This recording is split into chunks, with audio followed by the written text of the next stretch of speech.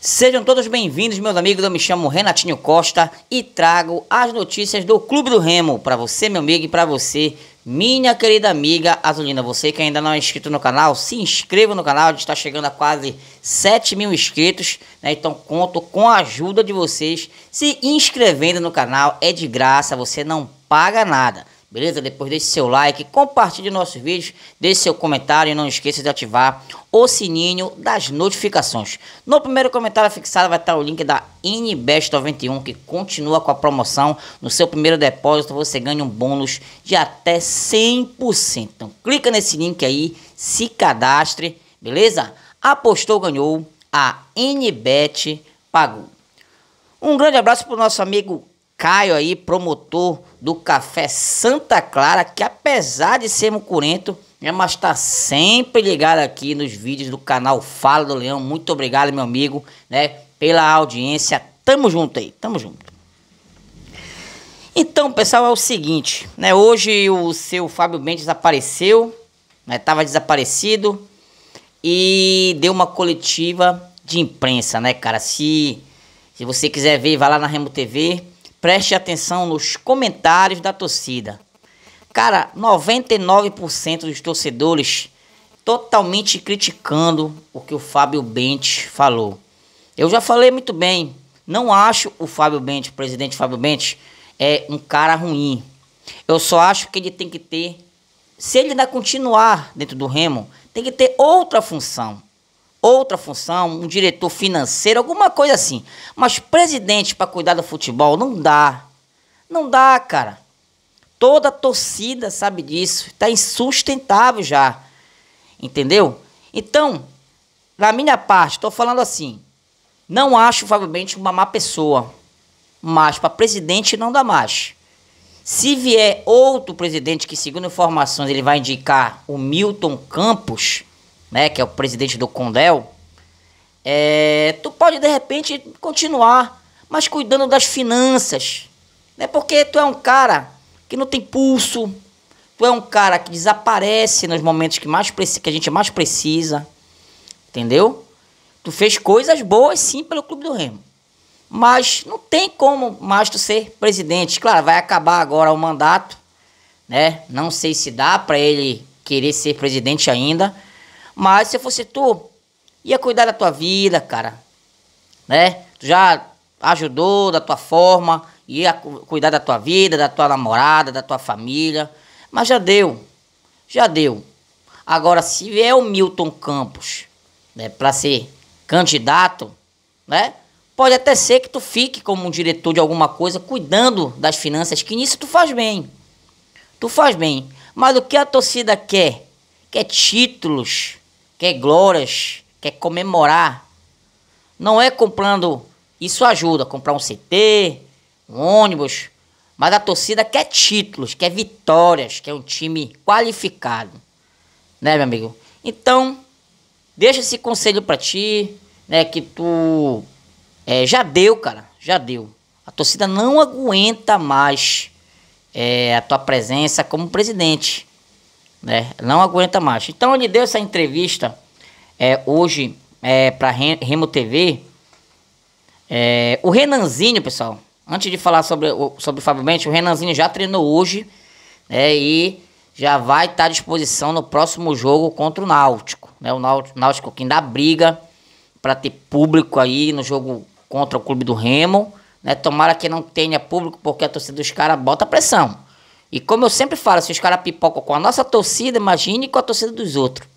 E a torcida do Náutico é enjoada.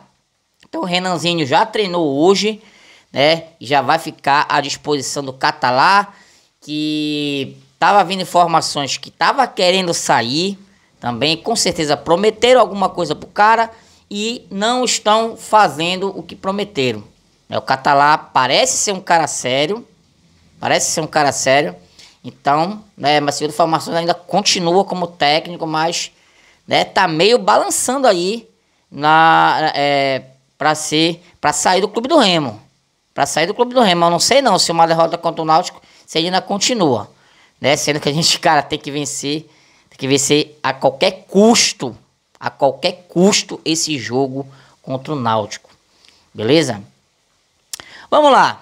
Vamos tentar né, falar aqui. Eu nem ia ver isso aí, mas como, como a gente tem um canal, né, falando que fala do Clube do Remo, a gente tem que dar a nossa opinião em respeito aos nossos inscritos.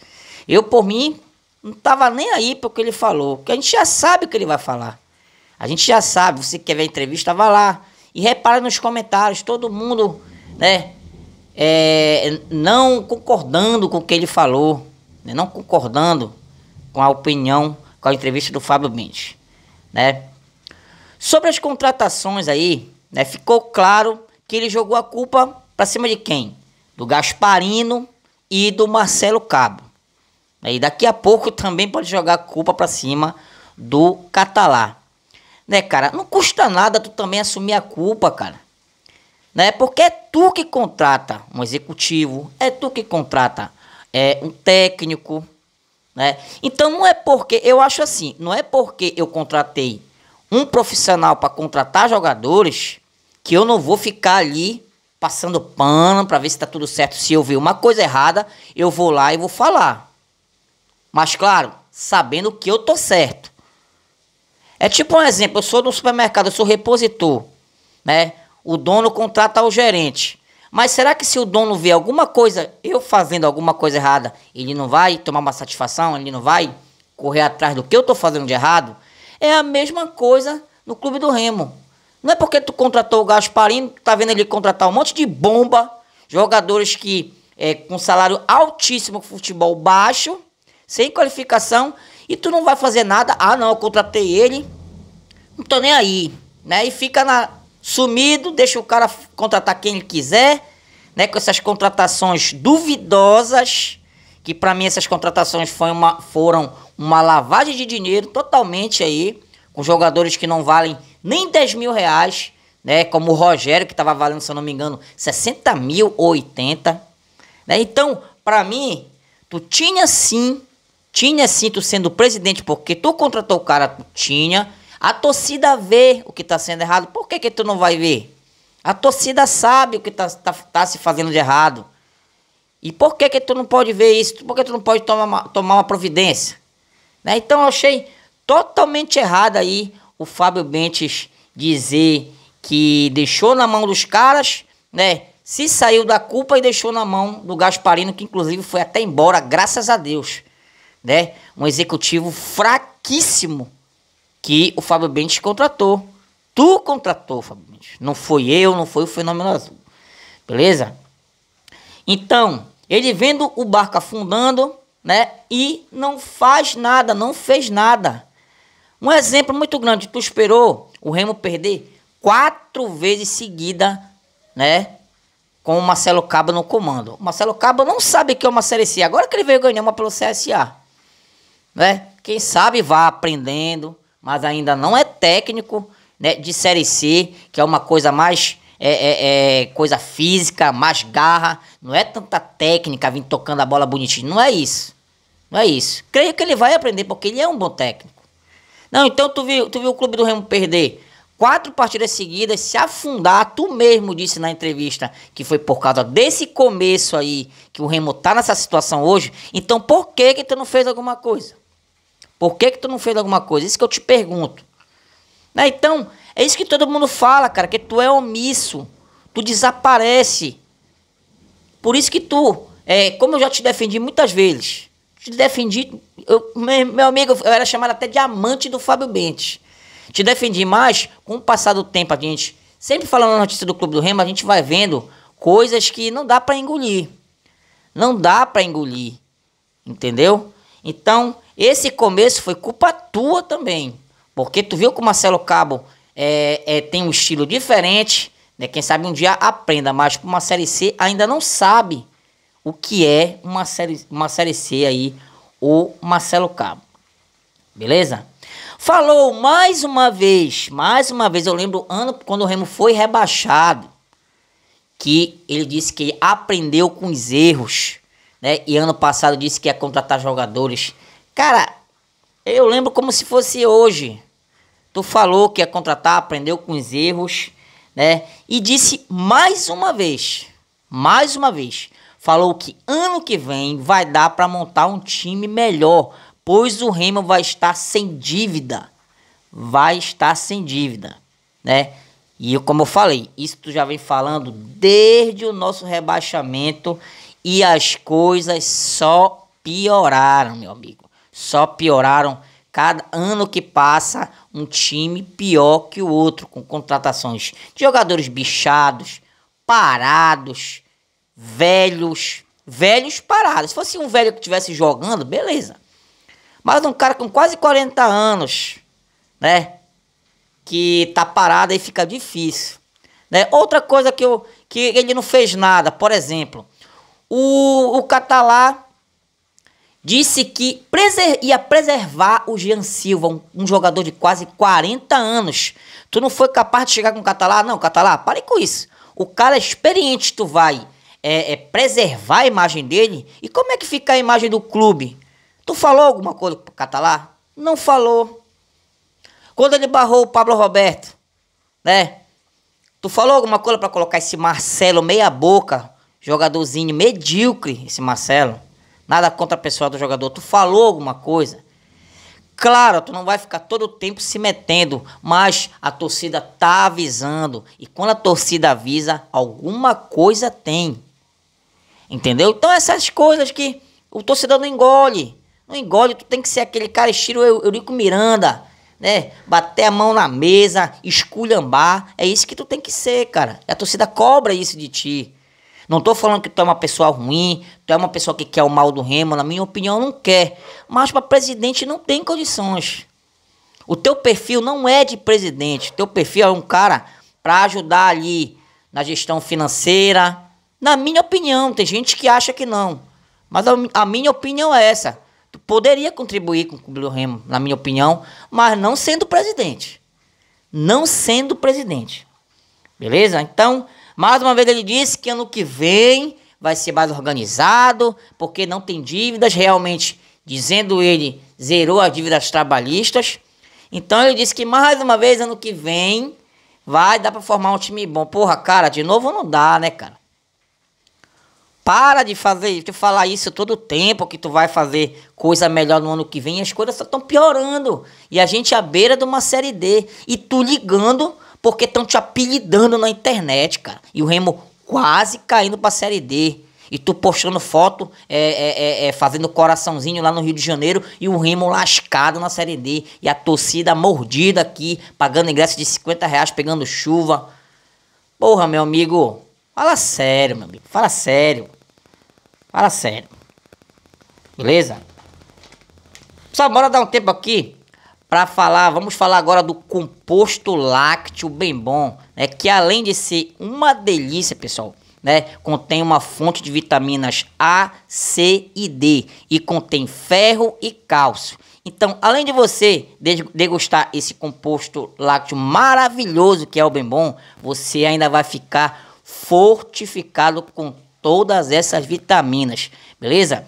Você encontra o composto lácteo bem bom em todas as redes de supermercados da região metropolitana de, de Belém, com precinho camarada, beleza, meu amigo? Então procure aí o leite bem bom, composto lácteo bem bom, em todas as redes de supermercados da região metropolitana de Belém. Um grande abraço para o nosso amigo Diogo da DR Representações, sempre ligado aqui no canal Fala do Leão. Beleza? Um grande abraço, meu amigo. Tamo junto. Então vamos lá. Sobre os moleques da base, a garotada da base. Isso aí foi uma das coisas que eu mais fiquei irado, cara, que ele falou. Sobre os moleques da base. Disse sobre o porte físico dos atletas. O Renanzinho tá chegando aí, vocês já viram o Renanzinho? Parece uma tripa seca. E os moleques da base é, não foram. É, a, a, base foi muito fraca, que ele tá é, é, é ajeitando a base agora, a estrutura, né? Tudo bem, pode até estar tá ajeitando, né? Mas eu vejo vindo aqui Álvaro, Marcelo, Bochecha, que qualidade, é, é, é, que qualidade técnica esses caras têm. Eles não jogam?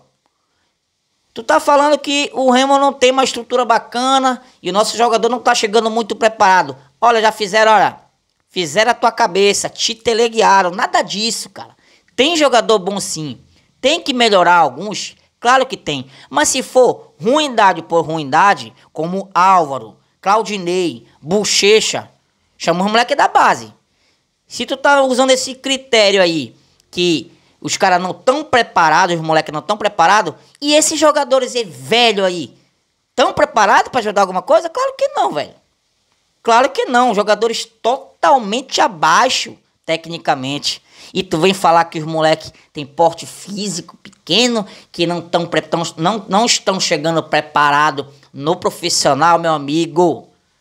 Pô, será que tem algum otário aqui? A torcida não é besta, cara. Fizeram a tua cabeça. Todo mundo tá vendo que, infelizmente, o Catalá não gosta de, de usar a base. Não gosta de usar a base. Né? Então, fizeram a tua cabeça. Porque se for para deixar esses caras aí, ruindade, perebento, chama, dá uma oportunidade pro moleque da base. O Ricardinho não joga bem? O Ronald não joga bem? É meio estabanado, mas é um moleque que tem vontade. Eu prefiro o Ronald errando do que ver um Marcelo. Eu prefiro um Canu errando do que ver um Álvaro. Eu prefiro o Ricardinho né, chutando a bola lá não sei aonde, mas se esforçando, do que ver um, um, um, bochecha. Mil vezes. Então não vem com esse teu papo furado falando de base, não. Que isso aí foi a, a pior coisa que tu falou nessa entrevista aí. Né? A pior coisa. Beleza? Então isso foi ridículo que tu falou sobre a base do Clube do Remo. E outra coisa, sobre premiação. Ele disse que tá pagando premiação por vitória. Isso nunca deu certo no Clube do Remo. Tu paga uma premiação quando o time ganha um título, uma classificação suada. Tu quer pagar por vitória, os salários não estão em dia. Para que, que tu vai pagar por vitória? Uma premiação. Não existe isso, cara. Outra coisa que com certeza fizeram a tua cabeça. Né? Porque tu quer ser amigo de todo mundo, tu vai na corda dos outros. Né? Tu é um cara que parece não ter personalidade própria. Né? Então, totalmente errado. E outra, esses jogadores vão morrer de fome então, né? Porque eles não estão ganhando nada. Não estão ganhando nenhuma partida, perderam para esse time medíocre aí do Paysandu. Medíocre. Né? Não conseguiram fazer um gol, perderam pênalti. Né? Então, eles estão passando fome. Quer dizer, passando fome não estão, que estão recebendo em dia. E não tem por que tu ficar pagando premiação por vitória, cara. Né? Não tem nada a ver. Não tem nada a ver se nunca deu certo. Quando coloca esse negócio de premiação, sempre dá errado as coisas. Sempre. Vocês sabem disso.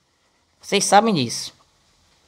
Ele confirmou, pessoal, que a folha do Clube do Remo é mais de um milhão. Meu amigo com esses meia boca aí, um, mais de um milhão, né? Cara, me desculpa, eu não tenho como provar, mas tá escancarado. Tem gente se dando muito bem nisso. E um foi esse tal de Gasparino, que, que foi, parece um rato, que tá vendo o barco afundar e pulou do barco para não afundar junto. Esse Gasparino aí é um dos caras mais fracos que já veio pro Clube do Remo.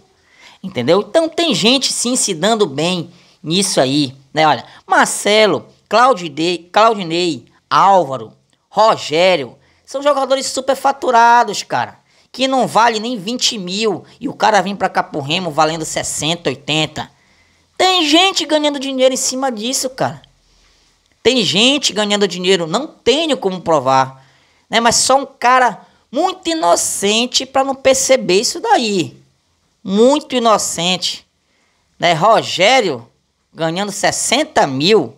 Vitor Leque, se eu não me engano, tá ganhando 60 mil. Cara que não consegue é, jogar 10 minutos. O Catalá disse que era 25, mas para mim, nem 10 minutos ele tá conseguindo. Moleque novo, deve estar tá só cigarro. Né? Que até maconheiro vocês contrataram. Né, cara? Então, tem gente se dando bem. Esses jogadores, para mim, são jogadores super faturados. Né? uma verdadeira lavagem de dinheiro no Clube do Remo. É uma verdadeira lavagem de dinheiro, na minha opinião. Né? Ele falou sobre o Pablo Roberto, que, segundo ele, está sendo negociado para um time de fora do país.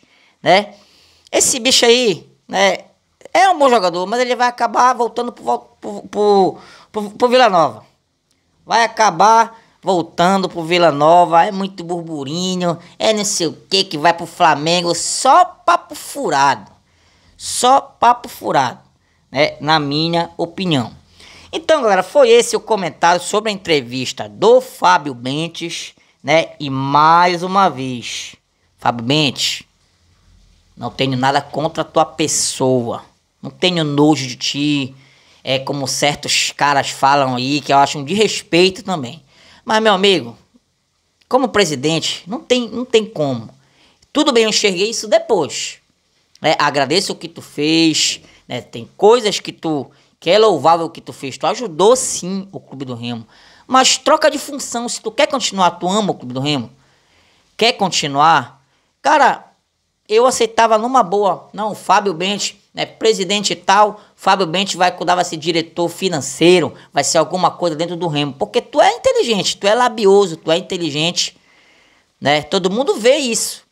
Mas como presidente não dá. Tu não tem perfil para presidente. Entendeu? Então, essa é a minha opinião sobre a entrevista do Fábio Bente. Beleza? Deixa sua opinião, deixa seu comentário se você lembra de um outro trecho da entrevista do Fábio Bente, que tem 50 minutos. Né? Deixe seu comentário aí, vai ser bem-vindo a sua opinião sobre essa entrevista do Fábio Bente, que mais uma vez jogou a culpa nos outros. Não custa nada, cara, assumir primeiramente a culpa. A culpa é também desse Gasparino, é do Marcelo Cabo, mas tu é o presidente, tu que contratou esses caras e a culpa primeiramente é tua. É tua. Beleza? Se inscreva no canal, deixe seu like, compartilhe nosso vídeo, deixe seu comentário. Não esqueça de ativar o sininho das, das notificações. E outra coisa, Tu pegou o Remo na Série D, tu nem ousa em deixar o Remo novamente na Série D. Entendeu? Tu deixa pelo menos o Remo na Série C e tu ainda falou que tu acredita em classificação. Pelo amor de Deus, cara. A gente tem que pensar em não ser rebaixado. Classificação, na minha opinião, não tem mais condições. Até tinha uma esperança, não repar. Mas depois desse placar que a gente espera pra esse time ridículo da Mucura, fraco, só chutão, pra mim a gente vai ganhar de quem? Não vai ganhar de ninguém, cara. Então, dá-lhe uma chacoalhada nesses caras aí e pede pra eles deixarem o Remo na Série C, pelo menos, cara. Pelo menos, porque a nossa torcida não merece isso aí. Beleza? Fiquem com Deus, até a próxima. Fala do Leão, valeu.